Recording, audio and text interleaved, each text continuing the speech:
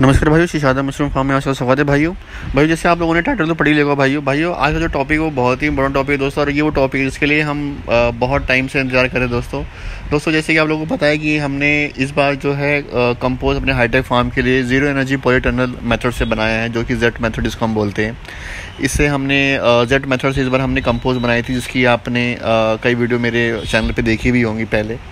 और अगर किसी भाई ने नहीं देखी तो वो इसके अंदर मेरे चैनल में जाके दोबारा देख सकता है कि मैंने उसके अंदर ए टू जेड जैसे जेड मेथड कंपोज बनती है। इसकी पूरी जानकारी की पूरी वीडियोस के अंदर है, मैंने डाली हुई अपने चैनल पे दोस्तों। दोस्तों मैंने इस बार अपने हाईटेक फार्म के अंदर मतलब तेरह थर्टीन पॉइंट एट टन के करीब मैंने कंपोस्ट डाली थी। बट जैसे कि अस्सी अस्सी के करीब मेरे बैग ख़राब हो गए थे, अस्सी नब्बे बैग। तो वो मैंने बैग मतलब ख़राब क्या हो गए थे मतलब उसके अंदर माइसीरम सही से रन नहीं हुआ था, थोड़ा स्लो चल रहा था बट मैंने उसको हटा दिया था बाहर। और तेरह सौ बैग ही खाली हमने रखे थे अंदर, अपने रूम के अंदर, दोस्तों। दोस्तों जैसे कि मैं आज आपको पूरा डिटेल बताने वाला दोस्तों, कि हमने पूरा इसके अंदर कितना अपने प्रोडक्शन जो है जेट मेथड के अंदर लिया है। कितना हमारा इसके अंदर माल निकला है जेड मेथड के अंदर। और दोस्तों इसके अंदर मुझे प्रॉफिट हुआ है लॉस हुआ है कितना मैंने इसमें कमाया और क्या मेरा रेट का क्या एवरेज रहा। तो दोस्तों ये पूरा इसके बारे में आज मैं बताऊँगा दोस्तों। तो दोस्तों इस वीडियो को पूरा लास्ट में देखिए दोस्तों। और दोस्तों अगर आपने अभी तक मेरा चैनल सब्सक्राइब नहीं किया तो प्लीज़ मेरे चैनल को सब्सक्राइब करें लाइक करें शेयर करें दोस्तों। दोस्तों जैसे कि आप लोगों को पता ही है कि आ, मेरा जो प्रोडक्शन था वो तीन तारीख से मतलब तीन अप्रैल से चालू हुआ था जेड मेथड के अंदर। और तीन अप्रैल से चालू होने के बाद हमने इसको चार मई को रूम अपना खाली कर दिया था दोस्तों। दोस्तों चार मई को हमने इसको पूरा खाली करके, क्योंकि दोस्तों, जैसे मैंने आपको पहले बताया था कि इस बार जब हम अपनी रूम के अंदर कंपोस्ट डाल रहे हैं, वो हम टनल वाली कंपोस्ट डाल रहे हैं दोस्तों। हाँ दोस्तों, इस बार मैं कंपोस्ट परचेज़ कर रहा हूँ। टर्नल की कंपोस्ट है जो परचेज़ कर रहा हूँ। बट दोस्तों वो जो कंपोस्ट आ रही है उसके अंदर भी कुछ आ, हमने मतलब अलग एक्सपेरिमेंट हुए हैं उस कंपोस्ट के अंदर। तो उसका जैसा पूरा प्रोसेस रहेगा प्रोडक्शन का उसका माइसिलियम रन का कंपोस्ट का ए टू जेड जो भी जानकारी है उसकी मैं आपको देता रहूँगा दोस्तों।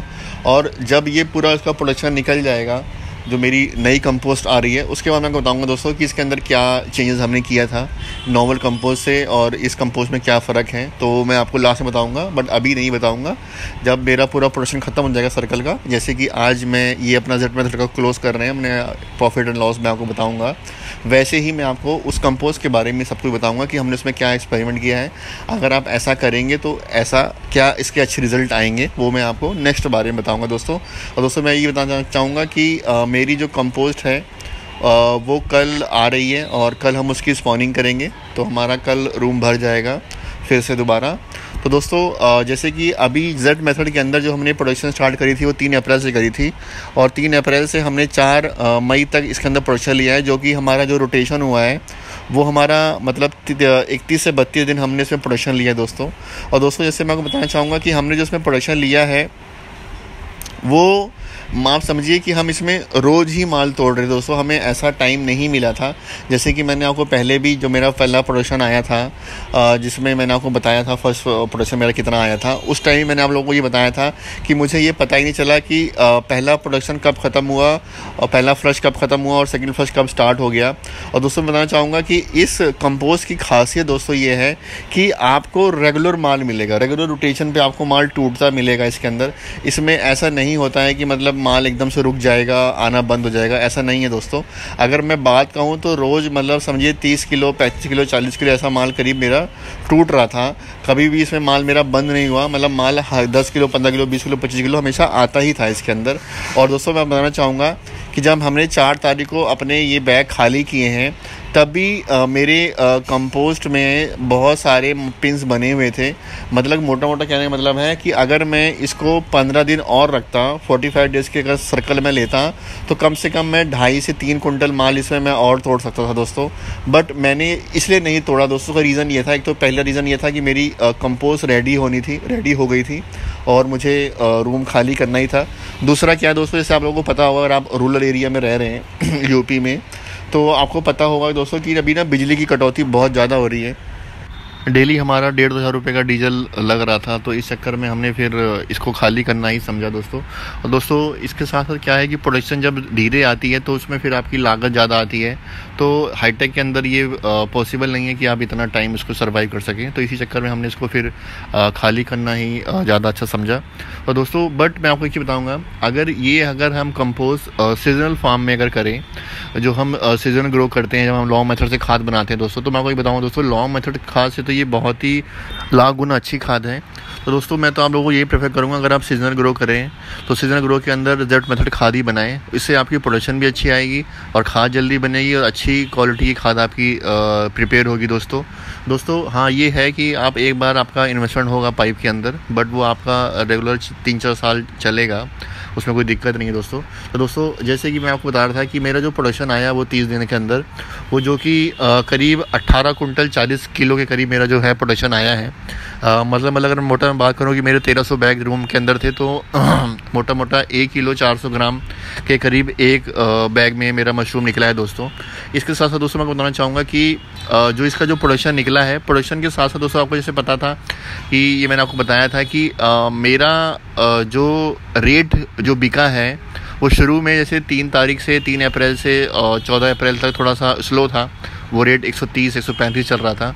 बट चौदह अप्रैल के बाद जैसे ही साइज़ स्टार्ट हुए तो रेट एकदम से आसमान छू गया था, जो जैसे मैंने आपको लास्ट वीडियो में बताया था। तो दोस्तों, वो पूरा अगर मैं एक एवरेज मानूँ तो मेरा पूरा इस सर्कल का एक महीने का जो एवरेज आया, वो मेरा एक सौ करीब आया है। तो वन सेवेंटी रुपीज़ पर आ, का मेरा एक एवरेज है। आप इसको आप खुल खुद कैलकुलेट कर सकते हैं कि कितनी मेरी सेल हुई टोटल इसके अंदर सर्कल के अंदर। तो दोस्तों मैं आपको बताना चाहूँगा कि इस स्तर जो मेरा जो एवरेज आया है, उससे वो इसलिए आगे मेरा लक है क्योंकि उस टाइम शुरू में लगन साए अच्छे थे और रेट उस टाइम मुझे तीन सौ रुपये किलो तक भी मिला है। तो मेरा एवरेज आ गया। बट अगर रेट अगर जैसे अभी मंडी चल रही है रेट थोड़ा स्लो है, अगर उस टाइप अगर होता तो ऑफकोर्स ये लॉस ही होता। बट मैं आपको बताना चाहूँगा, मेरा लॉस नहीं आया दोस्तों। ये एक खुशखबरी है कि मेरा ब्रेक इवन में ही क्लोज़ हो गया है मैटर और ब्रेक इवन में दोस्तों इसलिए बोल रहा हूँ कि मेरा इसमें प्रॉफिट ही होता बट क्या था कि पिछले डेढ़, दो हफ़्ते से ना बिजली का काफ़ी ज़्यादा शॉर्टेज है। तो इसके कारण हमें अपना जनरेटर डीजल ज़्यादा फूकना पड़ रहा है डीजल ज़्यादा डल रहा है। तो वो एक थोड़ा सा एक्स्ट्रा खर्चा हो गया डीजल का, जो हमने अपने पीएनएल में कैलकुलेट नहीं किया था। तो बट मैं वैसे मेरा तो अगर लॉस नहीं तो ब्रेक इवन मेरा पूरा ऑलमोस्ट इसके अंदर आ गया दोस्तों। बट दोस्तों ब्रेक इवन से तो कुछ होता नहीं है। अगर आपने ये आ, काम कर रहे हैं तो दो पैसा आपको कमाना ही है। तो दोस्तों मेरा ये मकसद था जेड मेथड को आ, करने का। वो मेरा मकसद दोस्तों ये था कि मैं आप लोगों को बता सकूँ कि जेड मेथड कंपोज कैसे बनती है। और इसके अंदर कितना माल हम हाईटेक फार्म एसी फार्म में निकाल सकते हैं दोस्तों। दोस्तों, जो भाई छोटे पैमाने पे रूम में एसी लगा कर रहे हैं, उनके लिए बहुत ही अच्छा फॉर्मेट है अच्छा तरीका है। वो लोग इसको ज़रूर बनाएँ, जो छोटे जो छोटे छोटे रूम के अंदर अपना पूरा इसको जुगाड़ करके बना रहे हैं। उनके लिए बहुत ही अच्छा मेथड है।